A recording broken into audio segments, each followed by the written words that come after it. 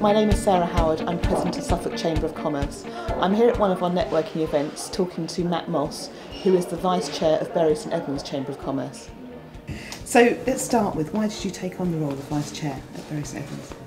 Um, well, I was treasurer for Bury St Edmunds Chamber um, prior to taking the vice chair, and uh, I think it, during my time as, as treasurer, uh, the, the, chair, the now chairman had seen sort of my enthusiasm mm. uh, for, for the chamber through the through my treasury role and, and, and he asked and, and I thought it would be a, you know, a great challenge to, to actually get involved and, and take a step towards you know, getting a little bit more involved and, and, and making things happen for, for the chamber in Bury St Edmunds. Yeah, because once you start seeing what's involved, you, you, get more and more interest, don't you? It just sort of rolls on from there, doesn't it? Yeah, I think also as, as treasurer, you're, you're a bit of a backseat um, passenger hmm. because mm. you, I'm just delivering more financial information and you, you know it was nice to actually get the opportunity to step up and be involved, make decisions, um, influence the chamber uh, and, and move things on. So and so do you find it, it's pushing you professionally? Yeah, absolutely. It, it was a great opportunity for me to take my sort of profession and my career to the next level, get involved more with, with local businesses. Um, and people like to speak to chairmen and vice yeah. chairmans, not so much treasurers. So it, it did actually um, help spark conversations and, and uh, you know, engage with people a lot more. Okay. And so you described the role um, which is sort of all, encompassing, isn't it, really? And why did you actually join the Chamber in the first place? Well, it was by default actually, because a colleague of mine was the treasurer originally, mm. um, and, and, his his workload became, um, you know, to to a point where he couldn't actually give the time to to the chamber that it really deserved. Um, so he asked whether whether I would be happy to take it on board, and and to me it was an opportunity to um, get involved I had recently qualified at that time, so I was trying to establish my career, uh, really get out and start to meet people, start to network with people, and that was a great opportunity for me to, to easily get access into a network of people mm. and get to know the local businesses. So why do you think it's important that Bury Chamber has become part of Suffolk Chamber?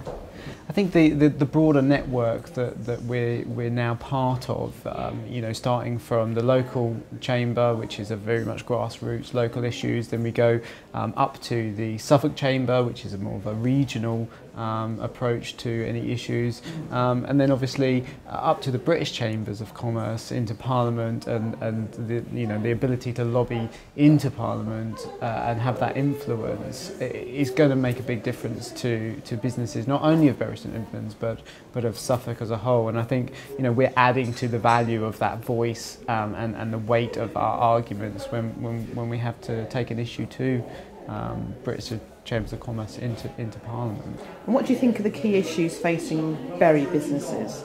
And what do you think the Chamber's role is in helping them? Bury businesses, uh, like like any business, they evolve, um, and I think you couldn't necessarily put it down to any one particular issue. I think what is important is that um, because businesses evolve and their problems evolve, that the chamber has to be there with them to evolve and adapt and try and meet those uh, those changes in their business needs. Um, you know, whether that's business rates, car parking charges, the A14 toll. Um, you know, I see that it's important that the Chamber are there to support the businesses, and I think with the Suffolk Chamber on board as well, you know, we can support our businesses much more um, and, and evolve with those businesses um, to a greater level so that we can be proactive rather than reactive to, to help our businesses yeah. um, with, with the changing business environment. Uh, we're halfway through the Business Festival. It's become such an intrinsic part of the West Suffolk calendar. Why do you think that's happened so quickly?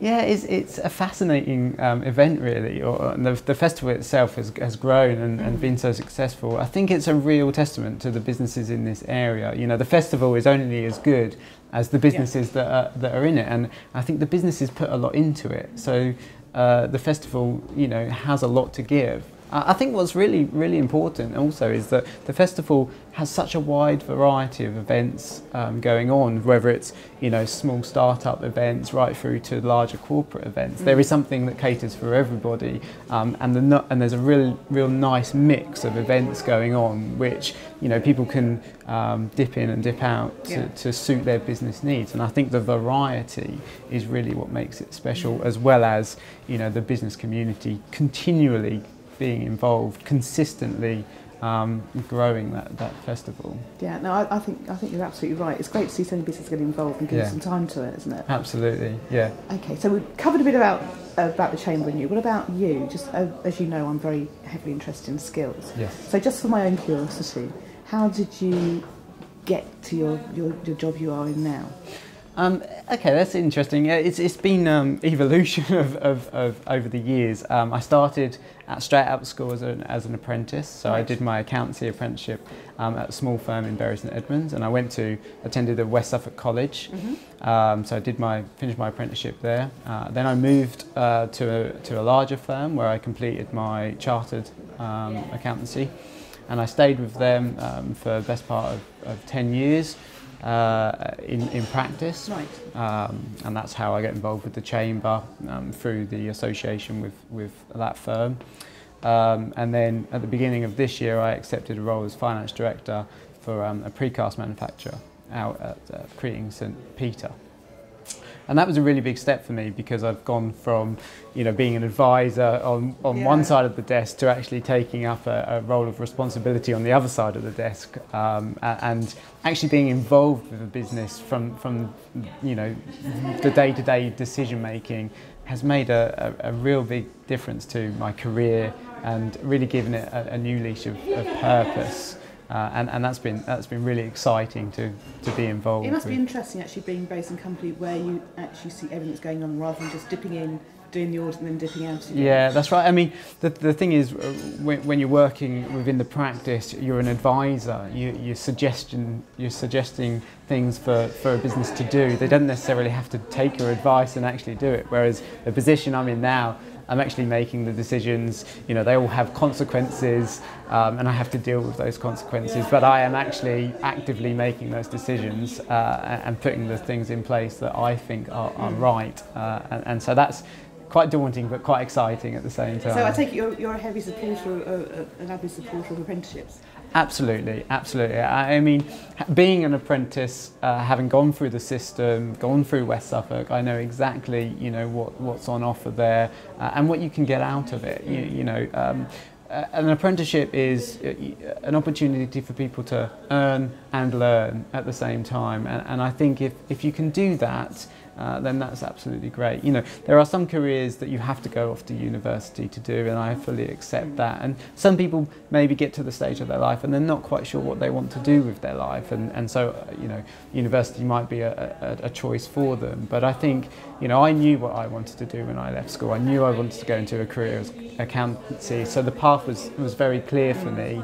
Um, and yeah, I wouldn't be here today if it wasn't for the apprenticeship um, through, through West Suffolk College. Yeah. Obviously, you're very enthusiastic about your work. What makes you tick? Continued growth, personally, you know, um, making sure that every day I'm learning something new, developing something new, imparting knowledge onto somebody else, helping somebody else. Um, because if I can help other people grow, then as an organisation we will grow, um, and, and, that's what really yeah. makes me tick. Okay.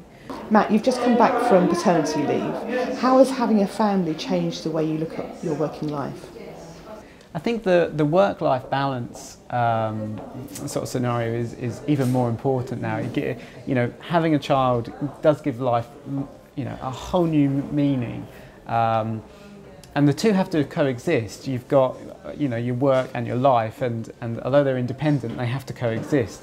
Um, so getting that balance is, is key.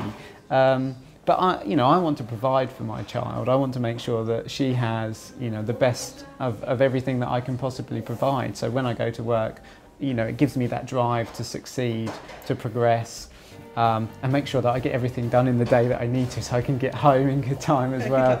Yeah, exactly. you know, I don't want to miss out on anything. Um, so it is just finding that balance really. But yeah, it, it, gives you a new motivation, a new purpose in life. Uh, and I think if you take that into work with that positive attitude, it can really make a difference to work as well. When I can get there in the mornings after, you know, not, not all the hours sleep that I'm used to getting. You're getting used to it. Yeah. okay, great. Well, thank you very much. It's been thank fascinating you, talking to you. Yeah, thank and you. Thank you very much.